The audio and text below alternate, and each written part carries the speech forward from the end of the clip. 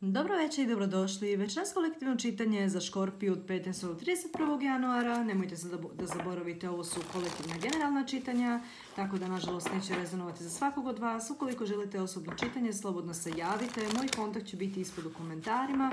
Ukoliko znate kojim znaku imate mjesec Veneru ili ascendent, slobodno pogledajte i taj snimak. Možda imamo neka poruka za vas. Hajde sada vidimo za Škorpiju od 15. do 31. januara što nam se ovdje želi prikazati za vas.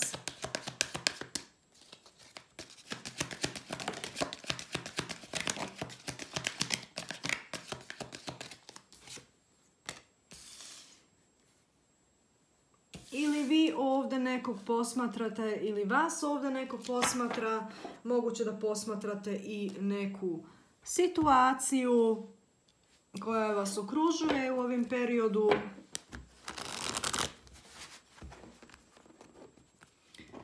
Moguće da posmatrate na društvenim mrežama neku osobu koja vas zanima, da imate neki interes na toj osobi. Moguće da posmatrate sve oko vas, kakve mogućnosti vam se ovdje pružaju.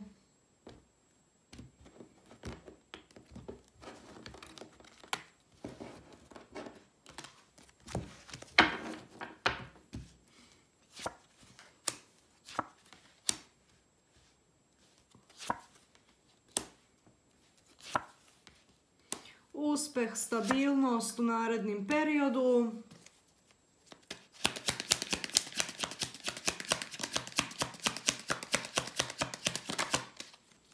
Ovdje vam je u prošlosti neko nešto emotivno ponudio.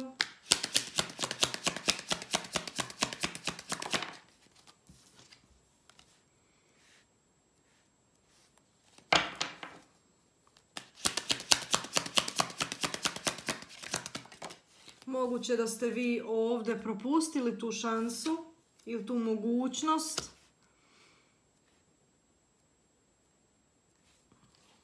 Za neke od vas će se ova mogućnost ponoviti.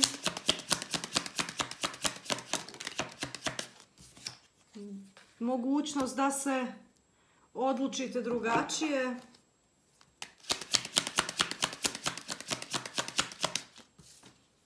Završavate sa nekim lošim financijskim periodom, polako će ovdje vaše financije i vaša financijska situacija doći u neku ravnotežu.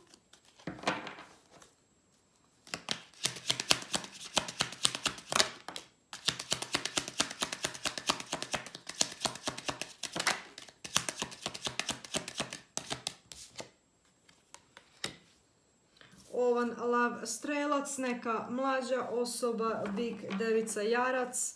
Moguće da te znakove ima u mesecu Veneri ili ascendentu isto tako. Ta osoba nam se ovdje prikazuje.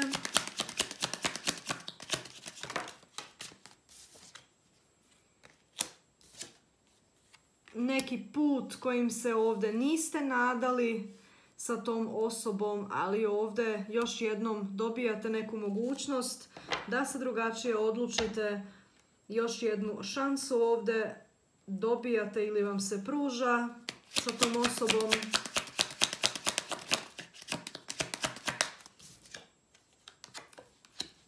Vaga blizanci vodolija, još jednom naznačena vaga ovdje, ženska energija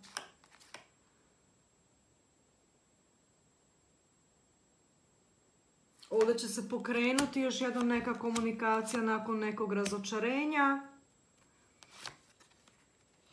Trenutno je sada još ta komunikacija blokirana. Hvala vam najlepše što ste sagledali ovaj snimak. Uskoro se vidimo opet.